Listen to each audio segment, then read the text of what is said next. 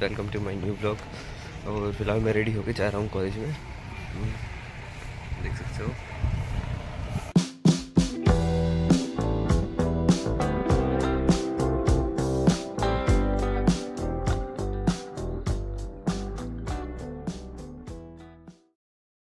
Friends फ़िलहाल मैं जा रहा हूँ अपनी सेकंड क्लासेस के लिए जो कि दो बजे से हैं अभी स्टार्ट वैसे मैं लेट हो चुका हूँ दस पंद्रह मिनट।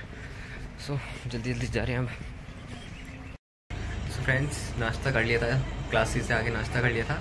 और अभी फ़िलहाल मैंने कपड़े धोए हैं बहुत सारे। और देखो, दिखाता हूँ।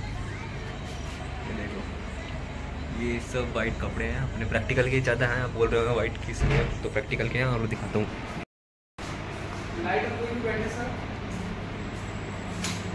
अब रात के बज चुके हैं दस।